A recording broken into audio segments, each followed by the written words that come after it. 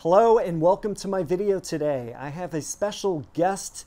This is Jim and he had received his Fisker Ocean 1 in Horizon Gray about a month before I got my car. And we've known each other for what, over a year now? Yeah. Waiting for vehicles and commiserating and, and trying to solve problems together. So he came over today and we're going to do a project where we're going to install a battery monitor and a battery tender, both at the same time to the 12 volt battery. And I'll show you all the steps and let's get started.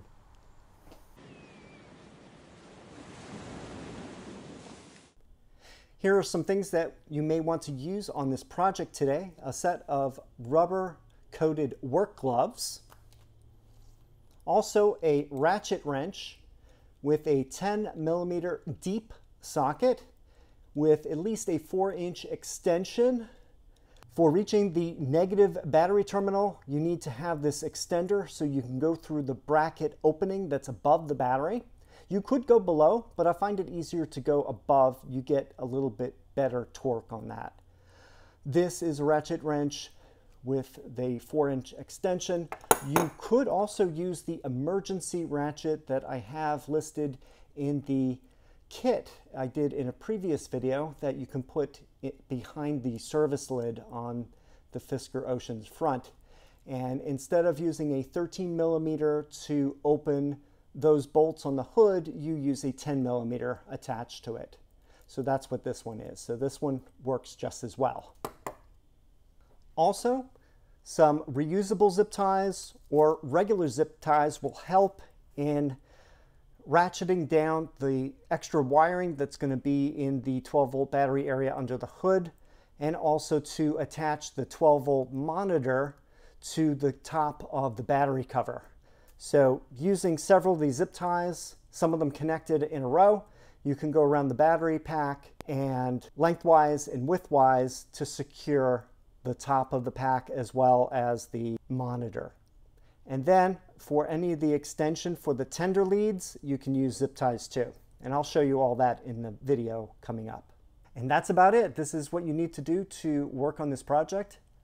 Let's go out to the car.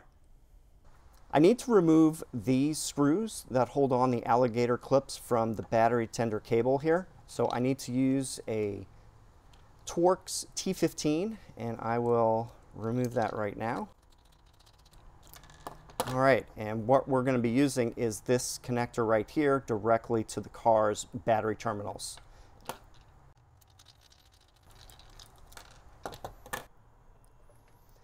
Here I have the Bluetooth monitor and we have two leads coming out. We have a red for the positive, black for the negative. These are spade connectors and what they're going to do is you're going to put these underneath the nut that holds it in place, and I'll show you that in just a minute.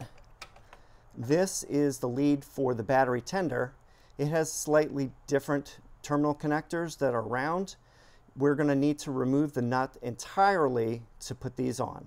But we're going to do both at the same time. So we're both we're going to be adding the negative side here and the positive side here. So we're going to put both of these connectors on at the same time so we get two items connected to the battery. To make this easier, I am going to clip these eye terminals so that they match the spade terminal so I can get them underneath the terminal nut easier. So I am going to clip it with a pair of pliers.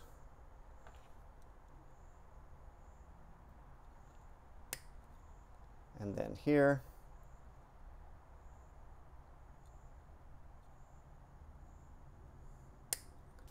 May need to make it a little wider.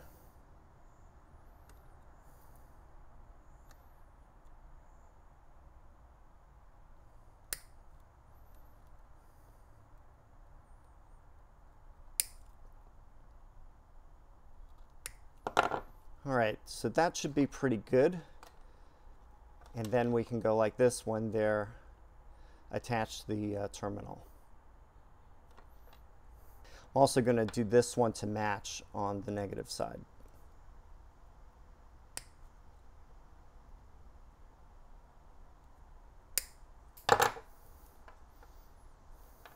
What we're going to do next is the 12 volt battery is located right here. There's a cover over this section here because this is kind of like a bus bar that has a fuse box in it. So we're going to press the buttons on here there's little tabs that we press and this will come off. We'll move that out of the way. There's a couple different areas where you can attach the leads. You can attach right here or over here. I tend to use this one because it's easier to route the wiring, but it's up to you how you want to do it. And then we have the negative under here.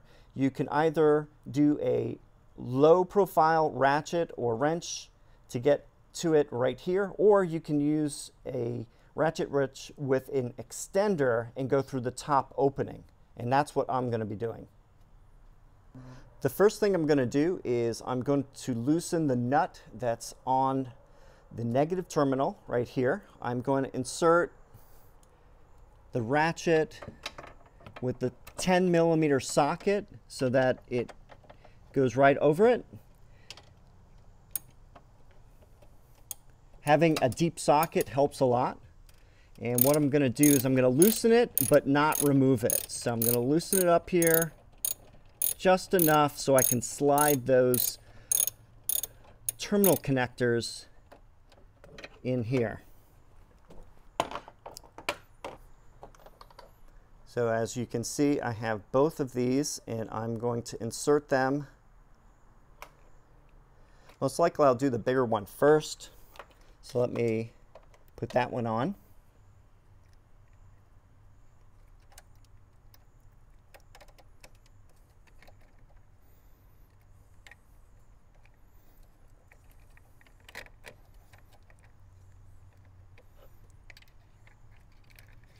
giving it enough clearance here.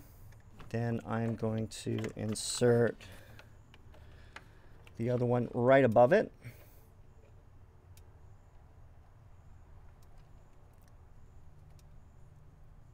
And if it's not loose enough, I can take the ratchet again and just give it a couple more turns.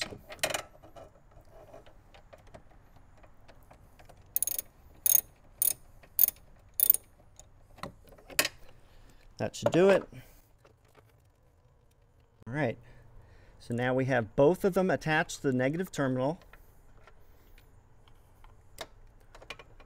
Keep the leads out of the way. And now I'm going to tighten it.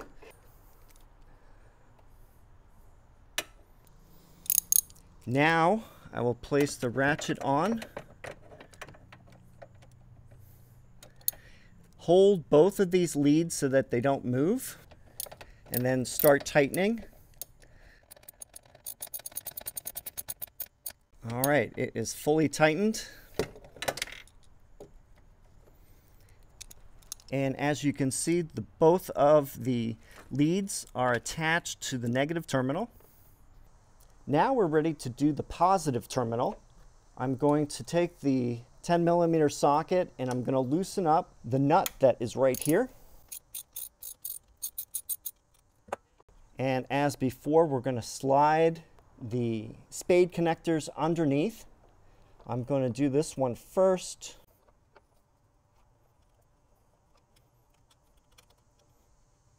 And then the second one right here.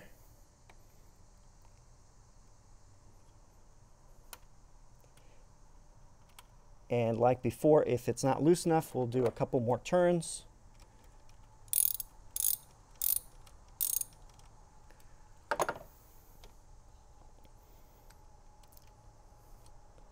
There we go. So we'll have both of the terminals for the battery monitor and the battery tender on this one location. I'm going to take the 10 millimeter socket and now tighten it down. Holding these two in place.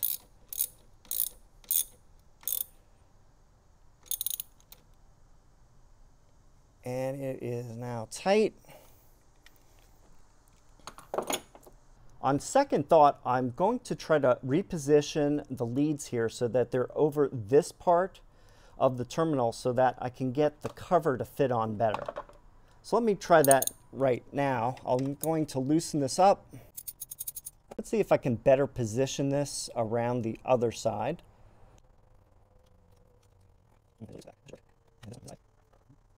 Now let me tighten it down.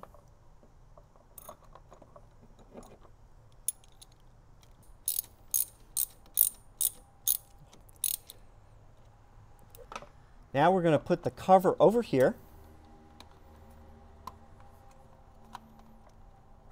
And it's not going to quite snap into place, but it gets much closer than it was before.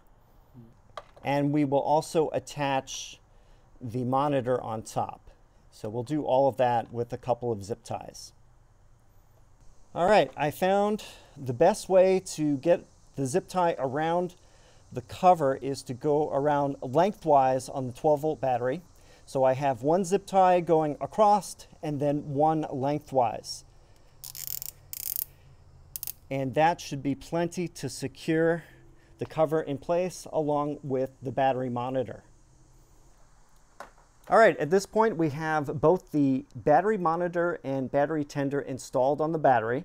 Now I have the lead for the battery tender and I need to get that out of the car and I usually go through the hood area right by the windshield. And I'll need to attach this extender onto it so that it will reach all the way to that area. So I will connect these two together. And then I will route this through here. There's an opening that we will go through here.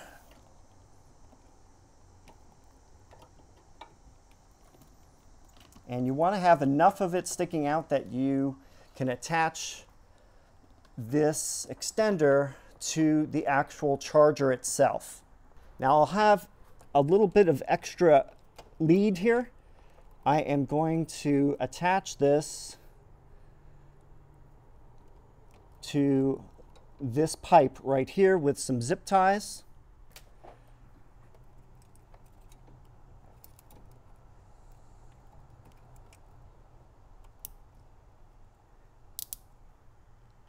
And then one more up here.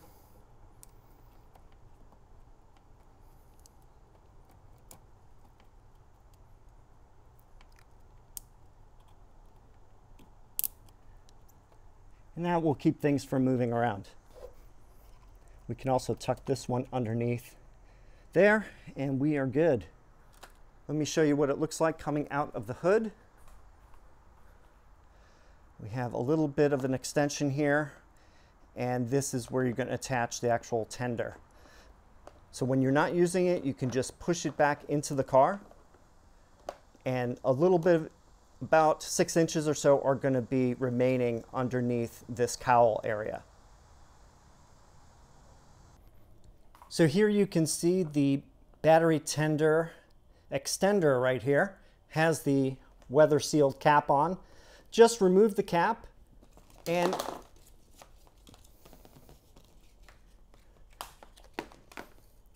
and then take your battery extender lead and then insert it.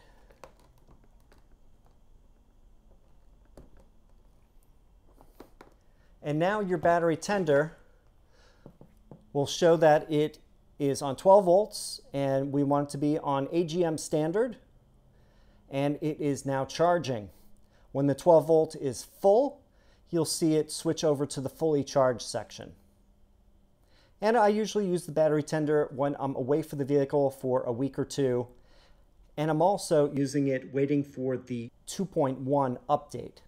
And look right here. So it's getting almost fully charged right now. So I'll just leave this here and let that finish up. And then when you're done, just disconnect the lead, put the cap back on, and then just tuck it underneath the hood. All right, well, we completed our project today. It only took, what, 12 hours to do? no, but it took a little bit longer because whenever you do filming, it, it adds time. But we, we got it done. And if you need any help please ask any questions you have down in the comments section.